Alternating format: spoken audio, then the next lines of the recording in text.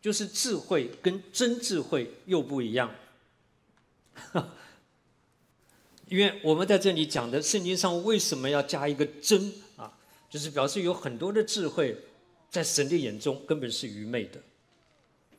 所以聪明跟智慧不一样，智慧跟真智慧又不一样。那么神今天要给我们的是真智慧，叫做属天的智慧，而蜕变给我们带来属天的智慧啊。所以我们现在一起来看啊，第一个属天的智慧，它是活的，它是生命。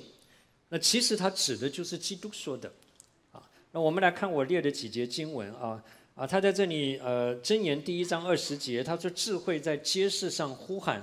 在宽阔处发生。那我想，我们读读真言书，大家都知道，那是一卷被称为智慧之书，对不对？因为充满了人生的体验真言啊啊，所以呢，在这里他用拟人法的方式，把智慧拟人化了，它变成一个 living person，他居然能够在街市上啊，在这里呼喊，在宽阔处讲话啊，它是它是一个活的，它不是一个死的东西啊。呃，第二个，我们看雅歌书。新约的雅各书三章十三节到十七节，他说：“你们中间谁是有智慧、有见识的呢？”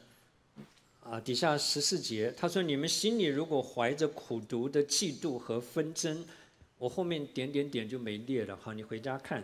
呃，雅各一口气讲了七个这个地上的智慧的特点啊。他不管是怀着苦读、有苦读、嫉妒、纷争，而且他底下讲到他会自夸。”说谎话、抵挡真道、偏见，而且假冒，这是地上的智慧。所以雅各在这里告诉我们说，这样的智慧不是从上头来的，乃是属地的、属情欲的、属鬼魔的。这是雅各告诉我们，有一种的智慧叫做属地的智慧，它是属于情欲的，就是从我的老肉体里面出来的，然后它是属鬼魔的。就是鬼魔常常会把智慧给我们，来欺骗我们。分别善恶树的果子，它就是来欺骗我们，叫我们去吃，自以为有智慧，其实是最愚昧的事情。叫人犯罪，犯罪的人享受最终之乐，犯罪的人好像暂时啊觉得自己很聪明，但是其实是最愚昧的啊，因为地上的智慧从鬼魔来的。十七节。唯独从上头来的智慧，先是清洁，后是和和平、温良、柔顺，满有怜悯，点点点，没有偏见，没有假冒。啊，所以我们看见雅各在这里告诉我们，这个真智慧，一方面讲到源头，它是属天的，它是从上头来的，表示这个地上没有。第二个，你发现当他讲智慧的时候，他居然用很多。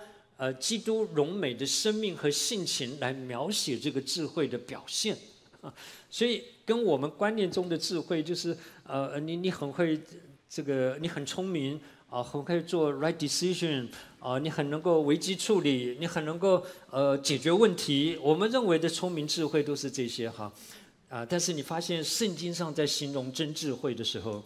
一方面强调它的源头是从天上来的，是属天的，是真的智慧，而底下就讲到先是什么，后是什么，全都是讲生命和性情。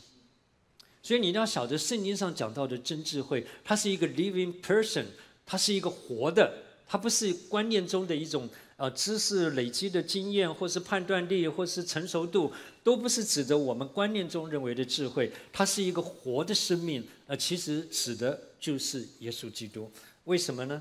请你从底下看哈，呃，其实我还有一节要先念，念完再看。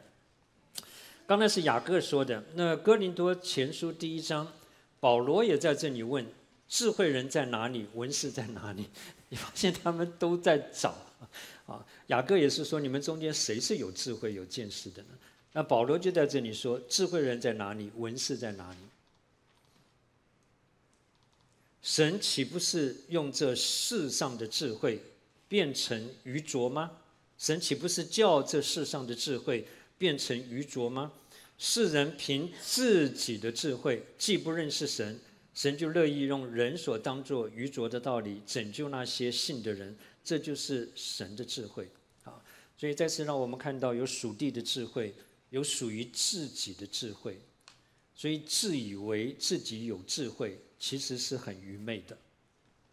啊，一个智慧人的特点就是承认自己需要属天的智慧，承认我的智慧不够。